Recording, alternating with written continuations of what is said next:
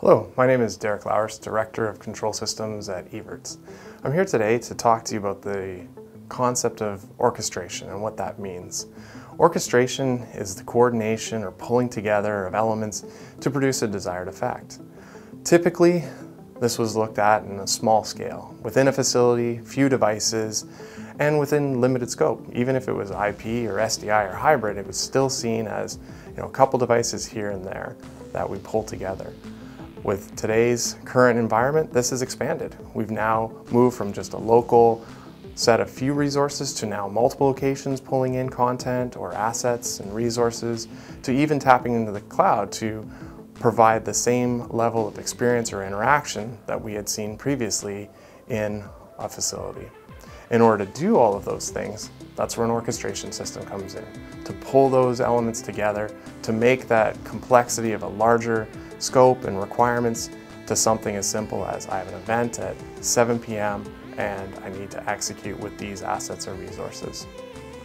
The way we look at orchestration, we look at it from the perspective of routing, signal chaining, multi-viewing, high res, low res encoding, storage allocation, transcode, capture, playback, IP network and bandwidth, pathing, redundancy, user interfaces, tally, and even metadata insertion or, or content archiving.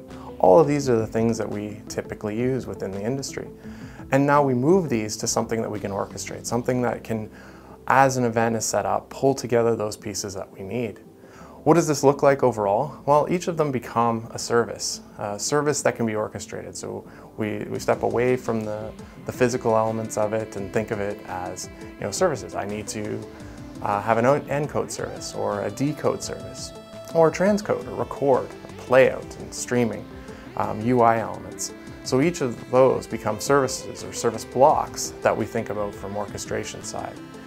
And all of this becomes as an initiated request. Looking at it from, I have an event at 7 p.m. Eastern Time and I need to execute this and pull together all of those services that we've talked about. For this event at uh, 7 p.m. Eastern Time, I need an encode uh, service, I need a decode service, I need a multi-view. And all of this, again, from the orchestration side, pulls it together, removes the complexity of trying to figure out what assets are available and at what time, and bring it together so that it really can meet that user intent of what I need at this time.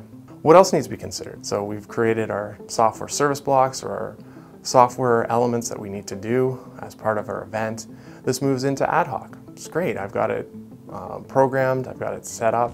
Now with an ad hoc event, how do I handle that? So an orchestration system needs to be able to look at what's provisioned, look at the new request and see where that fits within the available resources. If the resources are not available, to see if it can go out and request something from another location or from the cloud itself. Also to take into consideration is extending events. I have an event that's going longer, I need that asset or resource for longer than it was originally booked and be able for the system to look and see if this is available, not available, or be able to bump another um, upcoming event to a different resource to allow the current event to be extended. Also looking at from the perspective of conflict resolution. We have a, a booking that requires the same resource, present that out and say, we have a problem here there is a conflict and be able to present options to the user to say, oh, I can pick a different type of device or a different type of use to resolve that conflict. And then first and foremost is the resource allocation, determining what is available, how it's being allocated, and really optimizing those needs based on the event or request that's coming in. And then finally, device maintenance, knowing that if a device goes offline, being able to reference that, provide alternatives to still fulfill the request.